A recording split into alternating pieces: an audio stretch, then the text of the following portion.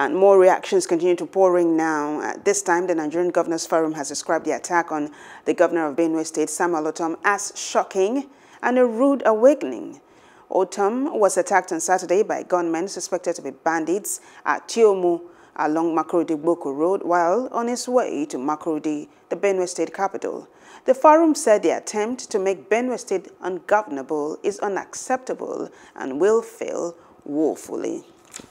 Hello, hope you enjoyed the news. Please do subscribe to our YouTube channel and don't forget to hit the notification button so you get notified about fresh news updates.